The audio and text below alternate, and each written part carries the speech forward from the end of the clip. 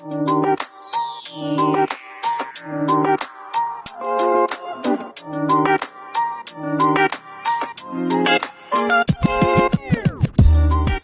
I've just been on my weekly shop and I've noticed that the cost of my groceries has been steadily going up for quite a while now. There's a few different factors for this, namely supply chain disruptions emanating from things like the pandemic, climate change, wars in Ukraine and the Middle East, and of course new trading rules since Brexit. Now, you may think that Brexit is yesterday's news, but you're wrong because there are new import rules coming in this year. Yes, that's right, 2024. So let's have a look at what these new rules are and how they're going to impact my weekly shopping.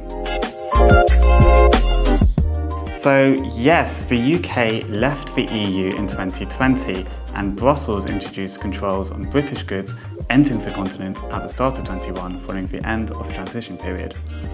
The UK opted to introduce its own import controls in phases, and this was done to support UK businesses as they were grappling with the impacts of the pandemic and the war in Ukraine.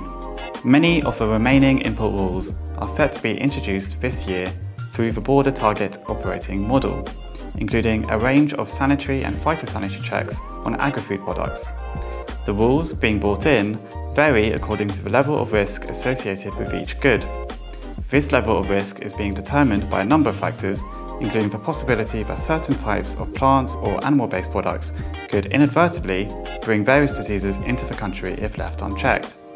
The new rules include new documentary requirements at the end of January and physical inspections from the end of April for higher risk goods. So let's have a look at my weekly shop, starting with that trusty tuber, the potato. And the UK imports a lot of these from France, the Netherlands and Ireland. Now the potato, under the border target operating model, is classed as a high-risk plant product. That means that a phytosanitary certificate will need to be obtained by the EU supplier by an approved plant health authority in that country and the certificate will need to be obtained for each pallet of potatoes that is being exported to Britain. The EU supplier or their customs agent will also need to submit a pre-notification of their export 24 hours before it is due to be shipped out of the export country via the EU's TRACES system. The UK importer will also need to submit a pre-notification in Britain via our own IPAFFS system. Again, that's 24 hours before the shipment is due to happen. There are also likely to be physical and identity checks on these potatoes from April. The importer will incur additional costs in obtaining the phytosanitary certificate, while the customs agent in both the EU and the UK may add additional costs for supporting the businesses to submit the pre-notifications on TRACES and IPAFFS. Additional checks in April will inevitably add some extra time to various shipments. So all in all, there's going to be new rules and processes for European potatoes entering Britain, and there could be costs associated with this, and this cost could be passed down to the consumer. The good news is that not all products are affected equally. Let's take another example on the plant side. So, let's look at this orchid. An orchid is a high risk product, so that is going to be impacted by new rules. But these roses are low risk, so there will be no additional checks for them. The important thing to remember is that these categories can also change.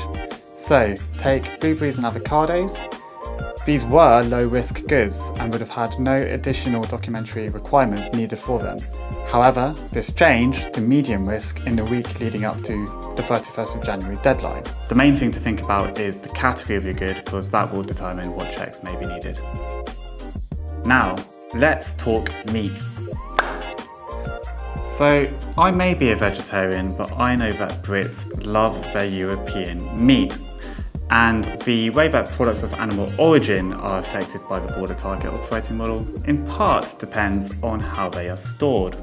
For instance, cured meats and sausages that can be stored at ambient temperatures are classed as low risk, so these goods won't be too badly affected.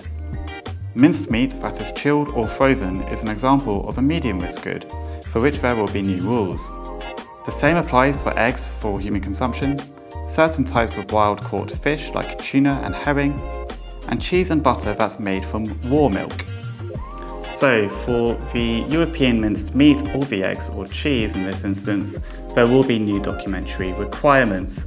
This includes the need for the EU supplier to obtain a export health certificate signed by an official veterinarian in Europe. As well as this, the EU supplier's customs agent will need to lodge the pre-notification on TRACES 24 hours before the goods are due to move. The UK importer's customs agent will need to do similarly on IPAFFS. There will be costs to this, whether that's the export health certificate or the additional tasks for the intermediaries, so again, these could be passed down to consumers. A report in the FT last year found that some of the costs associated with the border target operating model could be valued up to an additional £330 million a year for businesses. This includes the physical border checks coming in in April, which could be around £43 per check. Or there's the cost of getting the export health certificates, uh, which are coming in in January, which could be anything from tens to hundreds of pounds or euros.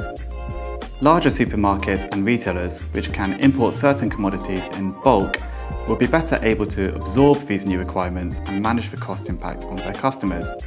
However, smaller retailers importing goods from independent European suppliers, i.e. your local Polish sklep or your favourite French deli, they could be more significantly hit. These businesses are less able to move goods in bulk and will often need to group the various goods they import within a single consignment which the trade industry calls groupage. It's quite possible that any truck carrying a group of different products with different risk categories could need to be stopped for an inspection if it includes any higher risk goods. So it's not just food for human consumption that is affected by the border target operating model. For instance, my cat Tofu really likes to get his pet food from Europe. So, what do we need to know? Processed or canned pet foods are low risk, so will not be affected too much. But frozen or raw meats for pets are medium risk, so export health certificates and physical checks may come into play. So how the UK trades with the EU and the rest of the world is set to change again in 2024. Indeed, the border target operating model is just one of over 20 changes that is due to take place over the next year or so. To read about these changes, download our white paper, BTOM and Beyond, from the website at export.org.uk. If you think the goods you supply or import into Britain will be affected by the border target operating model, make sure to download the BTOM and Beyond white paper, check out our training course on sanitary and phytosanitary rules, or join the Institute as a member to watch our library of lunchtime learning webinars, access our technical helpline, and get bespoke and exclusive guidance on how to manage renewables and processes.